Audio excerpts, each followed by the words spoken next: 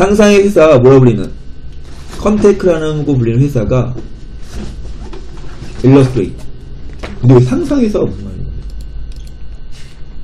가상의 회사야 이게? 진짜? 아무튼 ComTech라고 불리는 가상의 회사가 뭐 한 거야? illustrate. 결과를 보여준 거죠. 근데 어떤 결과냐면 아 changing technology 기술을 바꾸는 것에 대한 그 결과죠. 뭐 없이 분석하는 거 없이 뭘 분석하는 거 없이? 문화의 constraint constraint가 뭐였냐 아까?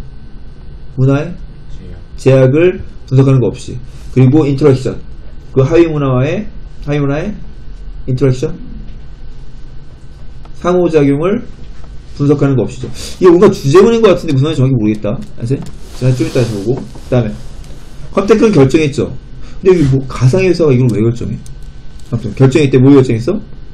증가시키려 결정했죠. 근데 경쟁력을. 뭐함으로써 빠르게 진화하고 발전함으로써 뭐로?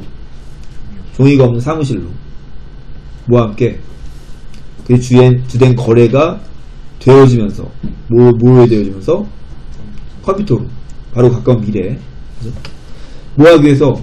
이런 변화를 성취하기 위해서 그는 고용했는데 어, 재능 있는 매니저 정부 IT 매니저를 고용했죠 그 다음에 어떤 사람이냐면 가지기를 모여서 입증된 실적을 가졌죠 근데 뭐에 대한 실적 실행하는 새로운 시스템을 실행하는데 실적이 있었던 거죠 그녀는 주어전에 뭐가 주었어?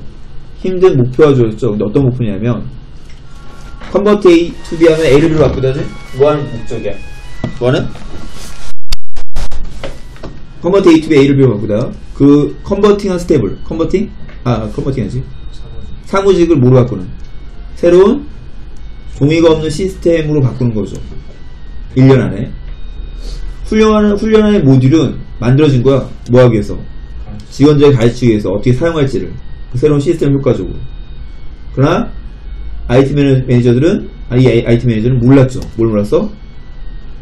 그 회사가 삽입 동시에 뭐하고 뭘 하고 있다는 걸 몰랐어 시작하고 있다는 걸 몰랐죠 뭘 시작하고 있다는 것을 강렬한 집중적인 생산성의 노력을 시작하고 있다는 걸 몰랐죠 근데 그것은 신호를 그 신호 시그널 신호를 주고 있었는데 누구에게 직원들에게 신호를 주고 있었죠. 어떤 뭘 신호를 줬냐면 그들이 뭐야만 한다고?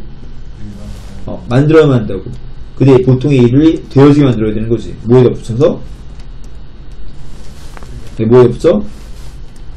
어떤 훈련을 그들이 스키 시간을 내서 주어져 시간을 생각할 수 있는 어떤 훈련이든지 그에 덧붙여서 네, 뭐 해야 되는 거야? 그들의 일반적인 일도 해야 된다는 의미였던 거죠. 그래서